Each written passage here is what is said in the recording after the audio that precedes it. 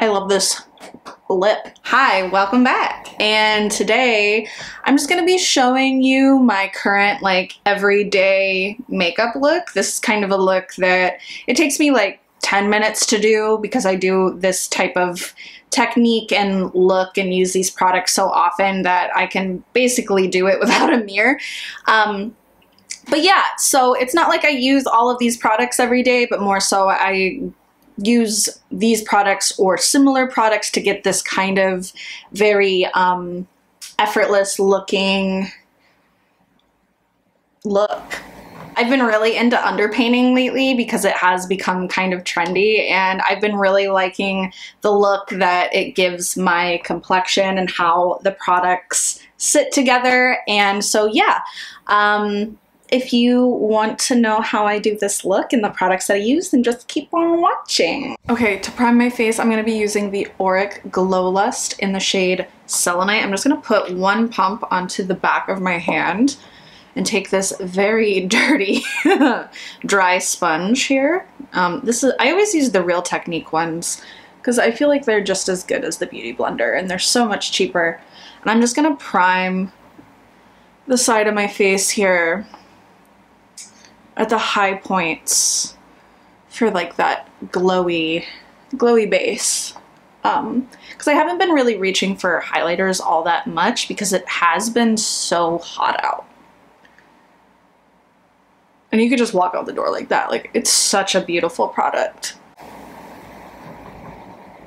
So the concept of underpainting is trending right now, and so uh, I've just been doing it, uh, and I've been really liking the way my makeup looks. I used to reserve it only for, you know, like more uh, event or like bridal makeup looks to make it look softer, but um, I've just been into it for the everyday lately. And so essentially what underpainting is, is putting all of the um, light and shadow on before you do any sort of like base layer like foundation. Since I don't really wear foundation, I just like to um, kind of chisel out my face with a cream bronzer. And this is my take on underpainting. Like everybody kind of does it a little bit different. Um, so what I like to do is put my um, bronzing and or contour on and then I go in with like my uh, concealer and blend the two together as I go. So I just kind of put it kind of sporadically like where the kind of bronzy areas of my face are. So like in the contour, like bronzing area on my forehead, and then I put it into the crease of my eye. And then I just kind of go back and forth and add as I go. I'm just gonna blend out the forehead just a little bit more and then kind of go down the sides of my nose with um, whatever's remaining on the brush here and then kind of carve out my jawline. Kind of gonna leave the cheeks alone because those seem to blend out as I start adding concealer. And for concealer, I'm gonna be going in with my NARS Soft Matte Concealer. I use the shade Light 2.6 right now, and it's Cafe Con Leche. And so I'm taking the e.l.f. concealer brush. I love this concealer brush because it's pretty big, but it's densely packed. Um, so it really blends out the product in a really beautiful way. I always say this, but like, I think e.l.f. makes really great, um, high quality, like high quality for what they are, you know? Um, but they make really good affordable brushes. So if you're just starting out and or if you need to fill a gap in your collection of makeup brushes, but you're kind of on a budget, I highly recommend e.l.f. Um, for like drugstore options. So, um, but this concealer brush in, in general is, I just think it's really great. Um, it's kind of broken. I have to like reglue it, but it's like, it like pops off. Um, but I just can't get myself to like just get a new one, which I probably should soon. But uh, yeah, I'm just, so I'm just taking that NARS concealer everywhere and blending around that bronzer. Not on top of the bronzer, but just around it and kind of merging the two where they meet. And I just think that this just creates like such a lovely complexion look. Like it just looks so like seamless and natural and airbrushed and you just the more time you work it in, the better your complexion's gonna look. And so I just really take a lot of time on this.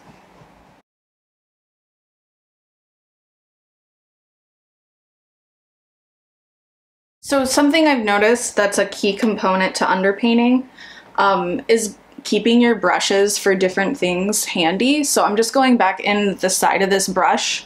This is an old Kat Von D brush. It was like part of the Shade and Light contour set from years ago. Um, and she's still just as great. Um, but uh, I'm just going in with the side of the brush that I use to apply my bronzer. And instead of adding more product, I'm just using whatever's left on the brush and then moving and blending the product that's already on my face in with my concealer. And you see how diffused and like just pretty that looks? I've been doing this every day, so it's just, uh, I've been really enjoying it. My dent in my, uh, my Saie bronzer is getting bigger. Um, if you're new here, I did say that I want to try and like pan this by the fall. And so, uh, yeah, look at that dip. I don't know if you can tell.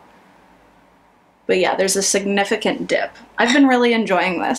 Um, now that most of my base is on, I'm gonna go in with the NYX Brow Glue and just kind of slick up my brows real quick. I've been getting back into my just laminated brow, just slicking everything. I'm trying to like grow my hair out. Um, not necessarily all one length, but just like kind of get like curtain bangs again and just have like a more simple hairstyle. I've had bangs for years, like whether they're curtain and or like micro, like mini little bangs um, because I've always been super insecure of my forehead and um, I'm just I'm just trying to like love my face. you know, like I'm trying to teach myself to like love my face. Uh, I've just been like slicking everything, like all my hair, just slicking it and just like knowing myself, if that makes sense. Just like knowing my face. Um, my mom used to wear her hair like this a lot because she was um, in a lot of like dance classes and whatnot. She did like, uh, she was like a flamenco dancer and uh, she was also uh, like a ballerina and a tap dancer. She did jazz. And so she had like her hair slicked back like this a lot. And I think when my, my forehead is exposed, like I look a lot more like her. Um, which is kind of a complicated subject for me as like my mom. So um, it's uh, it's like one of those things where I'm trying to like know my face and also like just accept that I do have some of my mother's features. Um, but anyways, I'm slicking up my, my brows. That got really personal really fast. and for blush, I'm gonna go in with my trusty Victoria Beckham Beauty um, Cheeky Posh blush in the shade Playground. Um, I don't really have like an everyday blush shade that I use because I, I just love all of my blushes. Um, but I have been really packing on the like kind of bronzer-esque terracotta shades like this and Sunkissed and Rose Inc's um, Daylily. Um, because I just I just love a bronzer and I think it just looks really really good all year round but especially when the warmer months start to happen and um, yeah, it's just like my favorite look, but you can't go wrong with this blush ever. So this is probably my most used. This and Sunkissed are my most used. Um, but if you have one, you don't necessarily need the other unless you're like um, a bronzer fanatic like me. Um, I would say that they're pretty interchangeable and if you're on a budget um, and or you're just trying to keep a more curated collection, if you have Sunkissed, you don't need Playground and if you have Playground, you don't need Sunkissed. But there's no harm in having both. All right, I'm going back into my concealer brush with nothing on it and just making sure the edges are all like smoothly blended together. Like there's no like harsh lines, like they're all like one big product on my cheek. That looks really nice. And that Auric Glowlust is like really stealing the show right now, as it always does. It's such a beautiful product. And moving on to eyes, um, I've been bouncing around from between two palettes a lot lately for like an everyday look. And one is the Roen Quad, which is the Mood Forever, which is one of my favorite eyeshadow products ever. And the other one, um, I've been leaning towards just a little bit more lately, and it's the 75 Degree palette by Roen. And that's only because I really enjoy doing like kind of bronzy golden gilded looks in warmer months. And so this is one of if you're into that like this is one of like the best palettes that you can own. Also if you're into like wet looking cream eyeshadows in general and like very warm toned eyeshadows this is an amazing palette to own. Um, so what I'm gonna do is I'm gonna take this kind of um, warm peachy brownish kind of shade uh, and use that all over the lid as my base. Something I do want to note is that if you own this palette and you've been eyeing up the disco eye and the summer disco eye, you don't really need them because while the disco eye formula by Roen isn't really isn't necessarily a cream, they are the same tones and a very similar like finish and effect on the eye once they're on. And so I don't want to say they're dupes, but they're similar enough that um, I myself honestly can't justify owning both. Um, so if you have one, you don't necessarily need the other. Um, but I do have both because I just I kind of went on like a, a like a Roen splurge last year and I just started buying everything and I was like, whoa, you need to calm down.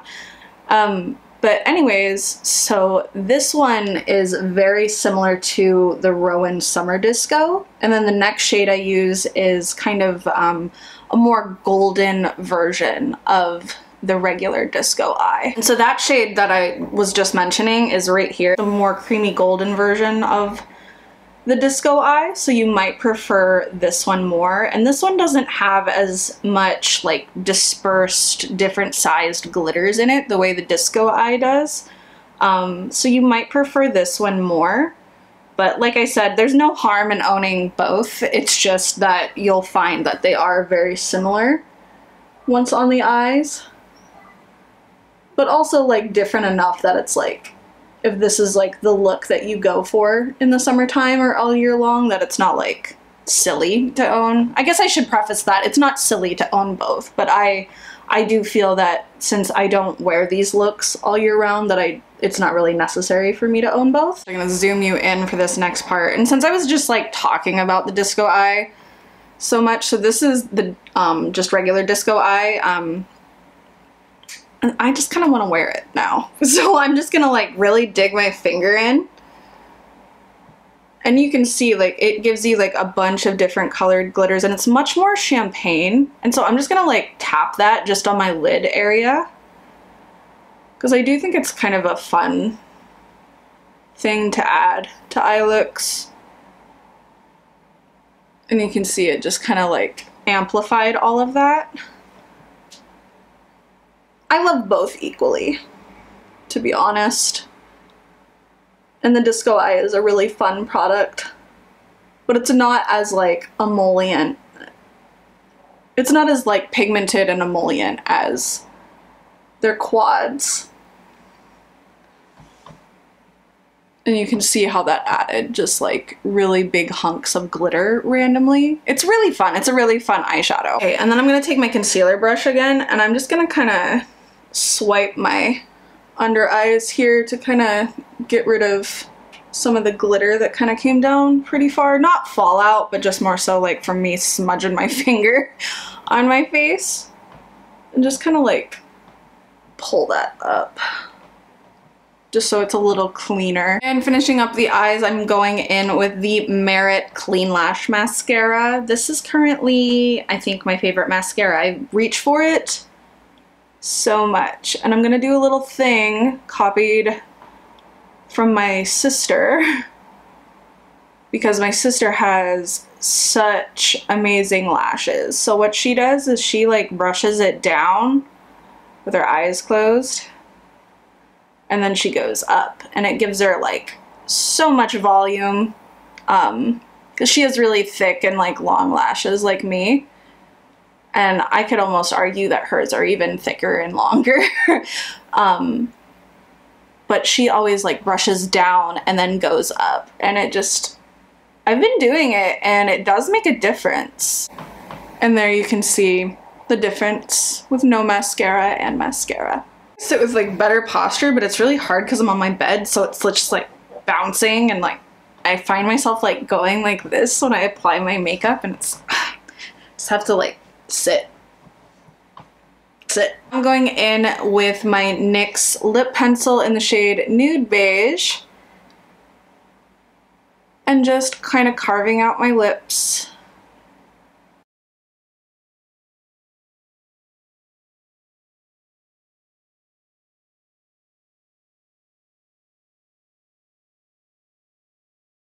I've been an absolute fanatic for the Clarins lip oil. I I just I just use this every day. I just love it. and it's so juicy and yummy and it tastes and smells amazing. This is in the shade Honey.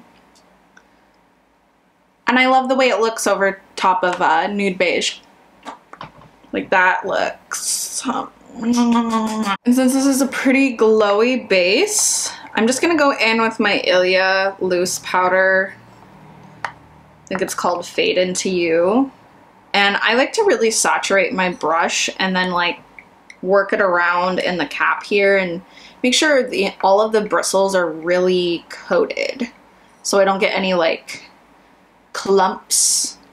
And I kind of just tap and then in here I kind of roll I love this brush. I don't know if it still exists. It's an old Morphe brush. It's the Morphe um, M438, if you're interested. And I think it's perfect for loose powder. And I'm just kind of taking that in the little areas here to just provide a little bit of longevity. And I don't dip it in again. I don't want more than that. But I love this powder. It's great. I've had it for so long. okay, and that is it. This is the finished look. Um, this is my kind of current go-to look for every day. This hair. Not necessarily these products in particular every day, but this is the desired look that I go for. And it's very glowy, it's very put together, it's very soft, and it does have that kind of summery, uh, bronzy gilded look that I'm after during the warmer months. And I think the Roen 75 degree palette is like perfect for that. So if you're into that, then maybe look into it. I don't know. Anyways, that's all for me today and like, comment, subscribe, and I'll see you in the next one. Bye!